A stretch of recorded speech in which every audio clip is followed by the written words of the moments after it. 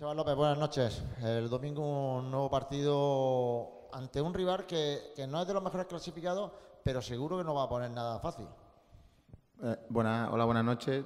Por supuesto, está claro que en su casa es verdad que tiene unos números de, de cuatro, cuatro victorias, dos empates y dos derrotas. Es un rival que, sobre todo en su campo, tiene una versión eh, con un rendimiento alto en cuanto a juego, en cuanto a puntuación. Ha mejorado mucho con respecto a la primera vuelta. Es un equipo que ha cambiado el, el formato, el, el, dibujo y el estilo. Y va a ser un partido también del, del grupo cuarto de segunda red muy complicado. ¿Espera un partido diferente al que se vio aquí en la primera vuelta? Está claro, son eh, situaciones diferentes, son eh, campos distintos, eh, todo es diferente, ¿no? Es verdad que los equipos son los mismos, pero la situación es distinta. Está claro que nosotros fuera de casa debemos de mejorar y ellos, por supuesto, que es una final, ¿no? Ellos, eh, aquí quiero recordar que en los primeros 25 minutos se encontraron con dos, tres goles, creo, y a partir de ahí el partido se les fue fuera de, de su plano. Entonces no va a ser igual el partido, eh, cada partido es diferente y seguro que será un partido totalmente distinto. Usted lo acaba de decir, fuera de casa tiene que mejorar el equipo. Eh, en casa roza la excelencia, sin embargo en casa, fuera de casa tiene muchos peros. Eh, el último partido contra el Manchego, el anterior contra el Yeclano. Eh, le toca ahora dar a su equipo un paso adelante para, para conseguir eh, fuera de casa lo que no está consiguiendo hasta ahora, que es una victoria que no llega desde noviembre.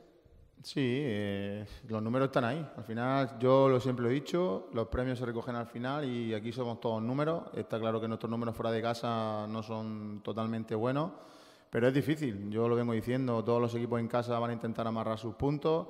No es fácil ganar fuera de casa, no es fácil eh, sacar puntos fuera de casa, pero lo que no podemos pretender es siempre dejar el, el comodín para en casa. Llegará un momento en donde en casa también no somos capaces de ganar y necesitamos sumar de tres fuera para tener ese colchón y, e, intent, e, intentar distanciarnos con el, con el sexto clasificado. ¿Qué tiene que hacer su equipo bien para conseguir esa victoria?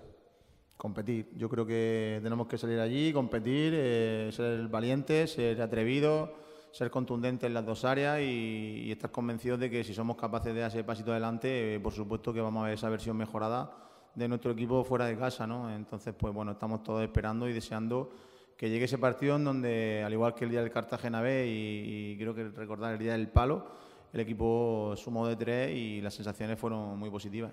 Sí, el terreno de juego es propicio para encontrar la mejor versión del Águila. Sí, por supuesto, el campo es un campo de césped natural, de unas dimensiones correctas, está muy bien, el césped está en buenas, muy en buenas condiciones. Y el, y el Cádiz es un equipo que te deja jugar por momentos, que te va a apretar por otros momentos y tenemos que estar preparados, ¿no? No, podemos poner excusas del campo, al igual que tampoco las pusimos el día de, Ciudad, de Ciudad Real, ¿no? Son campos de, que están bien y tenemos que ir allí sin poner ni, ningún tipo de excusa. Conseguir una victoria el domingo lo puede acercar aún más a, al liderato. Además de que el Yeclano está como está, intratable, pero sí que el Sevilla ha levantado un poco el pie, lleva los dos últimos partidos con empate. Lo puede acercar aún más al liderato esa victoria que, que puede ser obligada. Bueno, nuestro objetivo ahora mismo es intentar llegar a los 44 puntos, 45, y después a partir de ahí intentar distanciarnos del quinto clasificado. Está claro que ojalá y esta semana nos acerquemos siempre y cuando nosotros seamos capaces de sacar los tres puntos a esas posiciones de primero o segundo, por supuesto, pero tenemos que ser también un poco realistas. Hay gente y equipos de atrás que también están apretando, que no están tampoco fallando de manera regular y esto va a estar complicado hasta el final. Entonces, nosotros primero es nuestro partido, nuestros tres puntos y una vez que tengamos nuestros tres puntos, pensar o ver hasta dónde podemos acercarnos al segundo y al primer clasificado. La semana pasada llegaba Solano, lo presentaba en el 11 inicial, también Joel, ya lleva varias semanas también Maui y Damián con, con el equipo. Eh, ¿Se están acoplando? ¿Los tiene ya más o menos eh, dentro de, de, lo que usted quiere para, para que trabajen durante los partidos? Sí, eh, bueno, creo que el mercado de, invierno nos, nos, benefició. Creo que yo ya lo dije la semana anterior, no, no por los resultados, sí por el día a día y va a quedar totalmente contratado de, ahora adelante. Hemos traído cuatro jugadores que nos van a ayudar muchísimo y estoy convencido de que nos van a dar ese salto de calidad que, que nos hacía falta. ¿no? Eh, ahora mismo tenemos muchos recursos en banquillo, la dinámica es diferente y, por supuesto que, que, nos van a ayudar. ¿no? Entonces son jugadores que, que, se acoplan rápido, creo que los buenos jugadores se acoplan rápido a los, a los buenos equipos y, y a veces, pues muchas veces los periodos de adaptación son más rápidos que otros. Eh, ¿Tiene baja? ¿Cómo llega la plantilla?